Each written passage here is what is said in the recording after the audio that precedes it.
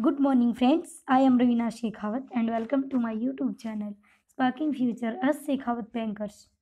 Friends as always मैं लेकर आई हूँ आपके लिए एक इम्पोर्टेंट करंट अफेयर सेशन अगर आपको ये करंट अफेयर सेशन अच्छा लगे तो प्लीज़ मेरे चैनल को सब्सक्राइब कीजिए चैनल को ग्रोथ दीजिए हमारा आज का पहला क्वेश्चन हाल ही में नितिन गडकरी ने कहाँ भारत के पहले निजी एलएनजी सुविधा संयंत्र का उद्घाटन किया इसके ऑप्शंस हैं, नागपुर, महाराष्ट्र, कानपुर, उत्तर प्रदेश, भोपाल, मध्य प्रदेश, गुड़गांव, हरियाणा। इसका राइट आंसर है, नागपुर, महाराष्ट्र। नितिन गडकरी ने नागपुर, महाराष्ट्र में भारत के पहले निजी एलएनजी सुविधा संयंत्र का उद्घाटन किया। यह संयंत्र वैद्यनाथ आयुर्वेदिक समूह द्वारा स्थापित किया गया। ऊर्जा और बिजली क्षेत्र की ओर कृषि के विविधीकरण के लिए जैव वैक जैव ईंधन के महत्व पर ज़ोर देते हुए गडकरी ने कहा कि भारत पेट्रोल, डीजल और पेट्रोलियम उत्पादों पर आयात आठ लाख करोड़ खर्च कर रहा है। इसके अलावा सरकार ने एक नई नीति तैयार की है जो लागत, प्रभावी प्रदूषण मुक्त और स्वदेशी इथेनॉल, जैव सीएनजी, संपीड़ित प्राकृतिक गैस, एलएनजी और हाइड्रोजन ईंधन के विकास को प्रोत्साहित करेगी। उन्होंने कहा कि वैकल्पिक ईंधन के उत्पादन के लिए चावल, मक्का और चीनी की अधिशेष मात्रा का उपयोग किया जाना चाहिए। सड़क सड़क और परिवहन राजमार्ग मंत्री हैं। केंद्रीय मंत्री नितिन जयराम गडकरी, नागपुर महाराष्ट्र से इनकी कॉन्स्टिट्युएंसी है। राज्य मंत्री हैं जनरल वीके सिंह, गाजियाबाद, उत्तर प्रदेश से। इसके अलावा वाणिज्य एवं उद्योग मंत्री पीयूष गोयल ने भारत, इटली, जे सी ई सी के इक्कीसवें सत्र की सह अध्यक्षता की। वाणिज्य मंत्री पीयूष वेद प्रकाश गोयल और राज्य मंत्री अनुप्रिया पटेल और सोम प्रकाश। हमारा आज का अगला क्वेश्चन हाल ही में कौन दिल्ली विश्वविद्यालय के बंग बंधु चेयरमैन स्थाप स्थापित करेगा? इसके ऑप्शंस हैं I C M R I C C R I B N S J V N L इसका राइट आंसर है I C C R I C C R Delhi विश्वविद्यालय में बंग बंधु चेयरमैन स्थापित करेगा। पहली बार जो आईसीसीआर मतलब Indian Council for Cultural Relations यह बंग बंधु शेख मुजीबुर रहमान को सम्मानित करने और बांग्लादेश मुक्ति युद्ध और भारत की पचासवीं वर्षगांठ मनाने के लिए दिल्ली विश्वविद्यालय में बंग बंधु चेयर, की, चेयरमैन की बंग बंग बंधु चेयर की स्थापना करेगा और इस पर वही आदमी बैठेगा जो मूल रूप से बांग्लादेशी होगा।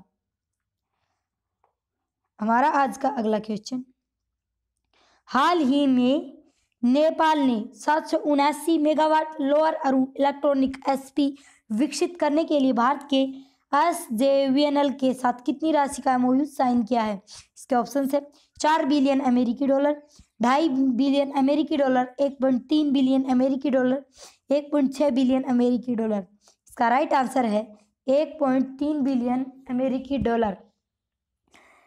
हाल ही में नेपाल ने, नेपाल का जो निवेश बोर्ड है, इन्होंने छः megawatt Lower Arun electronic SP विकसित करने के लिए भारत के S V S J V N L मतलब सतलुज जल विद्युत निगम लिमिटेड के साथ एक पॉइंट तीन बिलियन अमेरिकी डॉलर का एमओयू साइन किया है।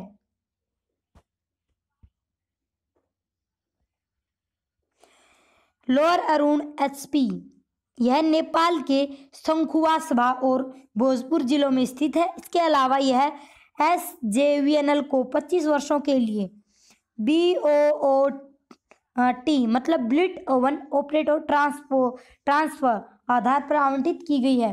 जो जल, सतलुज जल विद्युत निगम लिमिटेड वर्तमान में दो हज़ार सोलह पॉइंट इक्यावन मेगावाट की स्थापित क्षमता है और 2023 तक 5000 मेगावाट की कंपनी बनाने का लक्ष्य है। इसका हेडक्वार्टर शिमला, हिमाचल प्रदेश में MD and CEO Nandlal Sharma.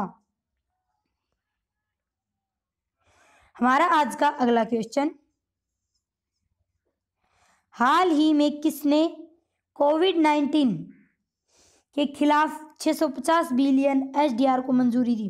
इसके ऑप्शन है W H O U N D P W T O I M F इसका राइट आंसर है IMF IMF International Monetary Fund ने कोविड नाइन्टीन के खिलाफ 650 billion H D R special drawing rights को मंजूरी दी है। आईएमएफ के इतिहास में सबसे बड़ा आवंटन है। यह सभी आईएमएफ सदस्य देशों की तरलता और भंडार को बढ़ावा देना और वैश्विक अर्थव्यवस्था की लचीलता, लचीलापन और स्थिरता को बढ़ावा देना। एच आवंटन अगस्त 2021 के अंत तक पूरा हो जाएगा और विकासशील देशों को तुरंत सहायता में 200 बिलियन यूएस डॉलर के अधिक प्राप्त होने की अनुमति देगा। आईएमएफ एचडीआर को अमीर देशों से गरीब और अधिक कमज़ोर सदस्यों में उनकी कोविड नाइन्टीन वसूली में मदद करने के लिए चैनल करेगा। जो जॉन्स होप्सिन विश्वविद्यालय के रिकॉर्ड के अनुसार दुनिया भर में कोविड नाइन्टीन के कारण होने वाली मौतें चार मिलियन तक पहुँच गई हैं। जो देश आर्थिक रूप से कमज़ोर हैं, यह आईएमएफ उनको सपोर्ट करता है। आईएमएफ की स्थापना उन्नीस सौ चौरानवे में इसका headquarter Washington D DC USA में हुआ। एमडी है क्रिस्टालिना जॉर्जिया और इसके जो सदस्य देश हैं, वन नाइनटी। हमारा आज का अगला क्वेश्चन हाल ही में अभी अल अभी अहमद कौन से देश के प्रधानमंत्री बने? इसके ऑप्शन है रोमानिया, सोमालिया, इथोपिया, इनमें से कोई नहीं। इसका राइट आंसर है इथियोपिया। अभी अहमद इथियोपिया के प्रधानमंत्री बने हैं। इन्होंने 436 संसदीय सीटों में से 410 सीटें जीतकर देश का संसदीय चुनाव जीता है। ये पहले से ही यहाँ के प्रधानमंत्री थे, यह उनका दूसरा कार्यकाल है।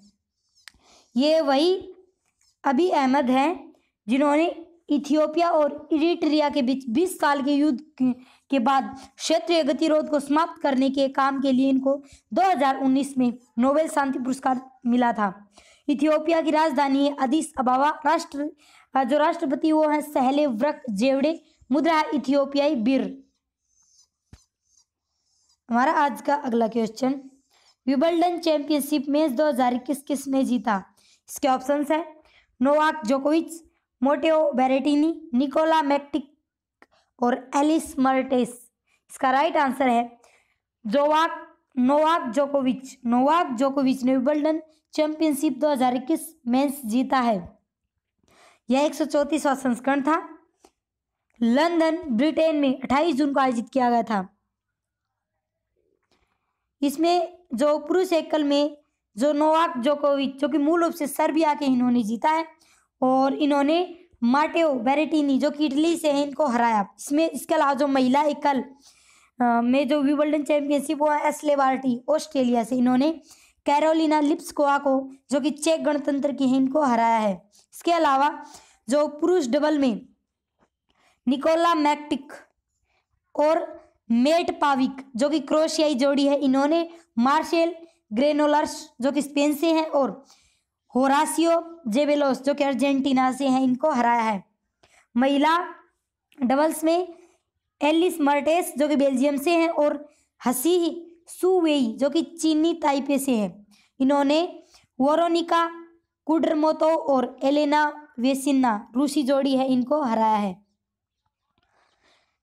इटली, इसके अलावा इटली ने U E F A euro 2020 जीता है। हमारा आज का अगला question National Fish Farmer Day 2021 कब मनाया गया? इसके ऑप्शन है, दस जुलाई, ग्यारह जुलाई, बारह जुलाई, तेरह जुलाई। इसका राइट आंसर है दस जुलाई। दस जुलाई को नेशनल फ़िश फार्मर डे 2021 मनाया गया। फ्रेंड्स अगर आपको मेरा एक करंट अफेयर सेशन अच्छा लगा हो तो प्लीज़ मेरे चैनल को सब्सक्राइब कीजिए लाइक शेयर कमेंट्स करें एंड बेल आइकन को प्रेस कर दें ताकि आपको मेरी आने वाली सभी वीडियोज़ का नोटिफिकेशन मिलता रहे। Thank you